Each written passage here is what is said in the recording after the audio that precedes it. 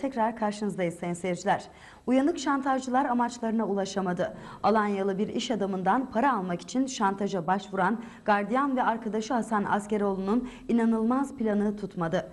İş adamına zorla boş senet imzalatan birisi bayan 5 kişiden 4'ü aradan 2 gün geçmeden asayiş büro ekipleri tarafından kıskıvrak yakalandılar. Alanya'da son yıllarda eşine rastlanmamış bir şantaj olayı yaşandı. Akıllara durgunluk veren şantaj olayını gardiyan Kemal Aksakal ile arkadaşı Hasan Askeroğlu planladılar. Gardiyan Kemal Aksakal ile arkadaşı Hasan Askeroğlu tarafından planlanan şantaj işini Fatih Erdoğan, Süleyman Aydoğan ile Nilgün Kaya gerçekleştirdiler.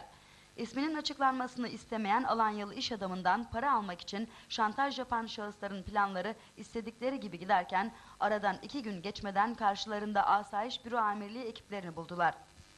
Geçtiğimiz hafta sonu yakalanan 5 kişiden 4'üne bugün olay yerinde tatbikat yaptırıldı. Şantaj olayını planlayan gardiyanın arkadaşı Hasan Askeroğlu'nun ise aranmasına devam ediliyor.